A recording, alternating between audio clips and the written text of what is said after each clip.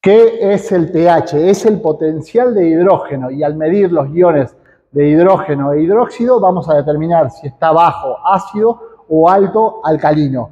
El valor ideal del pH es de 7,2 a 7,6. ¿Y por qué buscamos este valor ideal? Porque nuestro cuerpo tiene un pH de 7,4.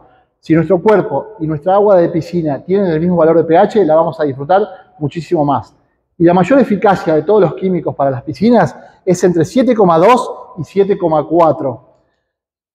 ¿Qué pasa con el pH alto y con el pH bajo? Con el pH alto proliferan más las algas, proliferan más los microorganismos, menor eficacia del cloro, hay que aumentar la dosis y se pone verde el agua. Con el pH bajo, el agua tiene mal olor, se mancha la ropa, es corrosiva para los equipos, menor duración del cloro, es más efectivo pero menos duradero. Excesivo ardor de ojos, irritación de fosas nasales y piel, turbidez del agua y no funcionan bien los clarificantes.